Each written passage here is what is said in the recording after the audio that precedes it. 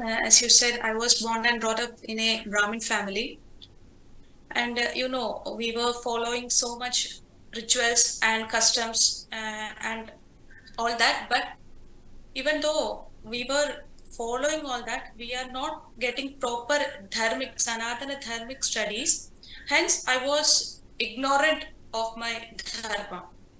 Even while doing most of the while performing most of the customs i used to think why we are doing this all? Because we are not knowing the meaning. Without knowing the meaning itself we are performing all the customs. So i before uh, since childhood onwards i thought that why we are performing these types of uh, customs and rituals and why are we uh, praying to god? All that all these things uh, i was thinking from childhood onwards. But when i asked to my parents also uh, they will say that we are following what our ancestors done. So just follow what they have done.